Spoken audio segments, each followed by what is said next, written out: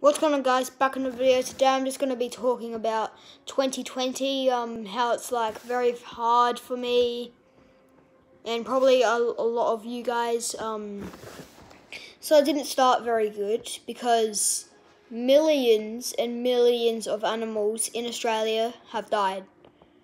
Now, this country is just one of my favourites it's good. It's lost most of Kangaroo Island and all that.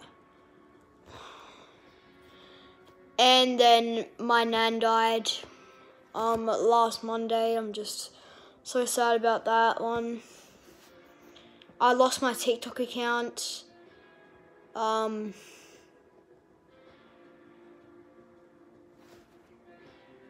uh, so Jake's here as well. Um, I'm just saying how 2020 is hard for me and you as well.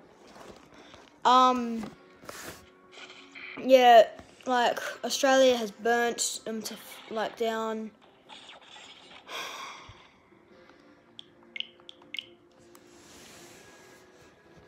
And my birthday was fun, but when I had to leave it, I was crying because I love um, when that day comes. It's one of my favorite days of the whole entire year. My nan's passed.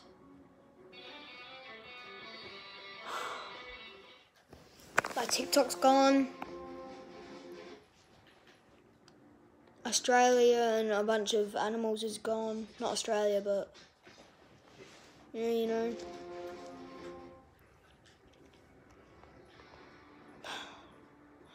So one like equals one um uh, one um rip for my TikTok account, my nan, and um the animals of Australia.